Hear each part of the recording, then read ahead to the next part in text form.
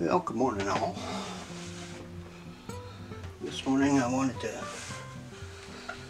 show people how you could uh, make some photo books at, uh, at home. It's really not that difficult to do if you got the right stuff to do it. I use uh, some things that I purchased from Spiral. Um, I'll leave a description in the link of where you can find these guys. But the basic tools you're going to need is a really good laminator. And you'll need this to laminate the covers.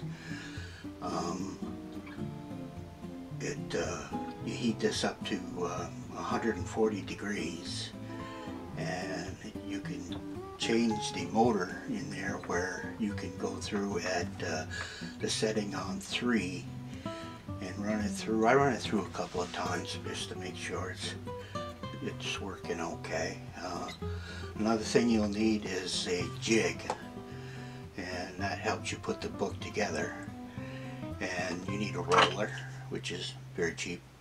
Um, another thing is you need a cutter to cut your book cover because you need to print a book cover to fit those which is I print them out at roughly at, uh, 10 inches by um, 24 inches depending on the size of the book and these are the covers that are going to be slid into the book to uh, laminate for a cover.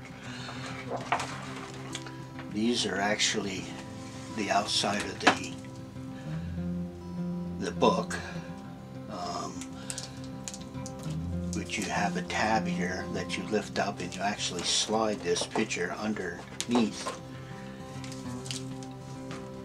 So you get the right side coming out there and then you would take and run that through the, the laminator and it would laminate that that book. Um, not too difficult to do. It is a little time consuming but this is just kind of a hobby so I just enjoy doing it. And these are called pinch books and this is actually the insert of the book which when you put this in, the covers are going to have a, a nice black cover. This is just a piece of paper. These are actually glued onto the inside of the book cover. And when this is done, you can actually open the book up and slide your pictures in. It's not too difficult to do, and uh, a little practice. Um, I had a paper cutter that I was using, but it was only went to uh, 18 inches, so I did end up getting the 24 inch cutter to do the book covers because I like the landscape uh, style. I know if you guys send your books out to be done, and what I find sometimes it can cost as much as $60 to get them to print them. Well, that's a lot of money for for me anyway. So I wanted to come up with a way to do it. So I could do my own and uh, get a little enjoyment out of doing it as well. Sometimes I get a little discouraged. Things don't come out just the way I thought they would, but that's all part of the what you're doing.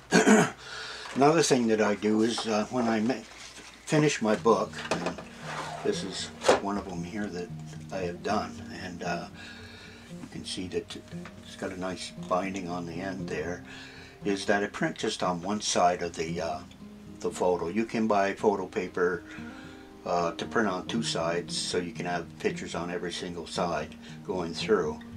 And I buy this paper by the, the roll, a 10 inch roll by, I forgot how many feet long it is, but it's quite a bit and it's not too expensive. this other, uh, you can see, they come out pretty good actually, you know, and going through as I say, you could print on this side if you wanted to, but I chose not to. I, the reason I chose not to is in case somebody wanted to take an individual picture out of the book and frame it, they wouldn't have to worry about ruining the picture on the other side, so they could just pick what they wanted to do. this actually is the uh, fall series. Going through, I guess I, I got about 25. You probably could put 30, 40 pages in here very easily.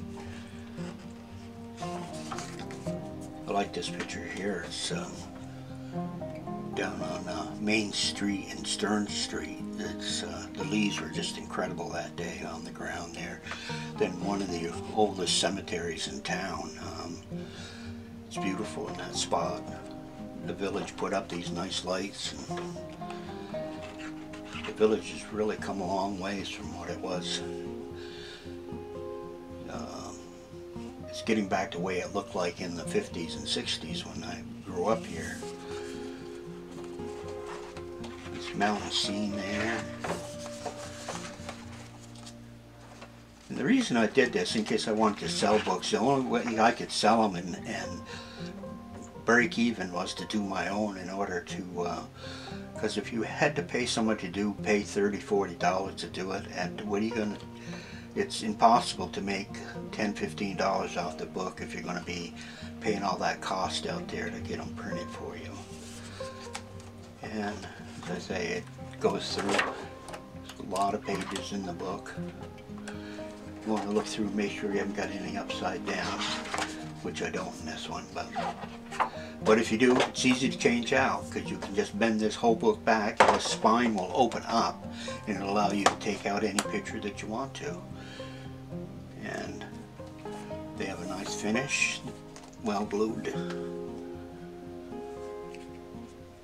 And I like the fact that I can design any cover I want to put on there. I can even make it so it could print edge to edge if I didn't want any writing in this part here. So, well there you have it. Another little hobby that I do during my retirement years. If you guys want to uh, say that I don't have any connection with Spyro, but I do will put the link in where I buy it. Uh, I think a case of these books uh, runs about a little over $50. So that's $10 a book. It includes the uh, as I say, the the cover part, the spine part, and even a bag to put your book in after you're done. And uh, ten dollars is to me is a lot cheaper than paying somebody 50, 60 bucks to do it for me. Well, you folks all have a nice day. Kind of enjoyed this here, so till my next adventure. See you later.